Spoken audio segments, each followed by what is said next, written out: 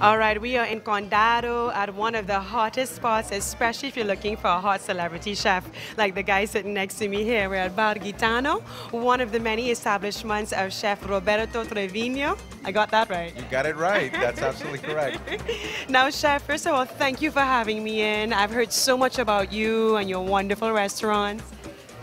Well, thanks for being here. I, I think you know Bar Gitano in particular is uh, is a restaurant that I kind of wanted to showcase because I think it's um, it's really kind of right on the, the you know the pushing the envelope kind of restaurant right now where we're trying to serve really high quality items and in a really relaxed atmosphere without being too stuffy you know? I mean we have those restaurants but we like this one because it's it's got the bar environment it has the great food.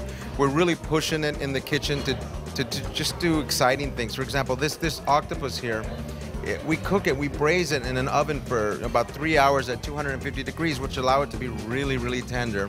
And then we just finish it on the plancha with a little pimenton and olive oil, and it's perfect. We keep it simple, but the quality allows it to be spectacular. And of course, this is pan con tomate, and I think it's the star of Spanish cuisine. You know, you go to Spain and you can have a million things, but to have just tomatoes that are, are, are, are, seasoned with salt and olive oil and then spread them on a great piece of artisanal bread. I think that what you've captured there is probably the essence of the sun, you know, and, and rain and beautiful things. So it's a great simple dish. It, uh, you know, it's a vegetarian dish, which I think is exciting. You know, I think uh, when you can really showcase vegetables and make them the star of a dish, I think you're doing the right thing in today's kitchen, you know. I grew up in the Bay Area. I think uh, it's an exciting place to grow up because there's a lot of exciting chefs and great restaurants and, and demanding diners, which allow a young cook to really push it and become, you know, well seasoned. And so I decided to go out into the world and I'm on my way to go to Dubai, but I stop in Puerto Rico and I fall in love with Puerto Rico and Puerto Rico has been good to me. So I started to sort of want to bring the different ideas that uh, that I saw happen in California, a revolution of food during the California cuisine times, you know.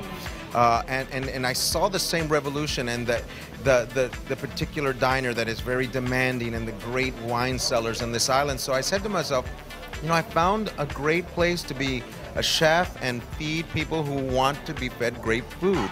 And Puerto Rico is really, I think, renowned for that. I think San Juan in general has um, an exciting restaurant scene here in the Caribbean. Uh, you know, I'm not going to say the best because I've been to so many islands in the Caribbean that have so many great restaurants. And I, I think that Puerto Rico and the rest of the Caribbean are experiencing a sort of a revolution with food. And I see it in all the islands, and I see the quality coming up. So your parents are Puerto Rican, you grew up in San Francisco, you're now back in Puerto Rico as son of the soil returning home. Your food is as exotic and exciting as your as your culture, as your heritage. How much of that influences your, your taste and your style and the menus you come up with?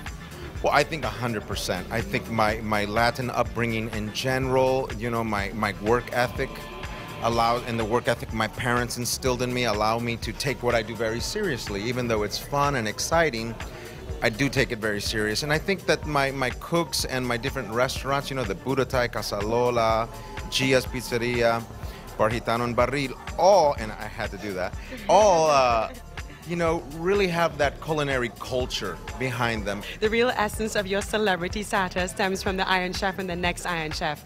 My goodness, tell us about that experience. You had fans all over the Caribbean nice, biting yeah. their nails off, rooting for you. You know, when I when I was was selected to do the Iron Chef, the original Iron Chef, to go against Mario Batali, I, I went in there with the intention to represent myself. And then I realized I was representing my kitchen. Then I realized there was so many people behind it. I was representing Puerto Rico. And then I did a couple of dinners on the islands, and a couple of people said to me, "You realize you weren't there representing just Puerto Rico. You were representing the entire Caribbean." And I said to myself, "Wow, I didn't have an idea how important." No pressure.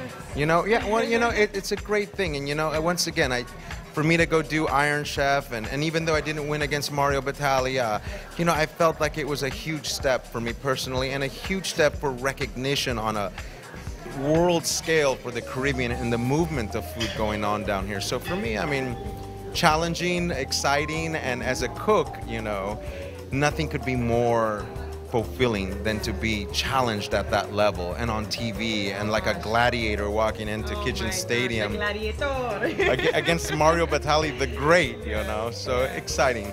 All right, I'm about to get into this bar Gitano cuisine. I know you have something else, Oh, yeah, I do, I do. I have a vegetarian paella coming our way that you're gonna love, you know.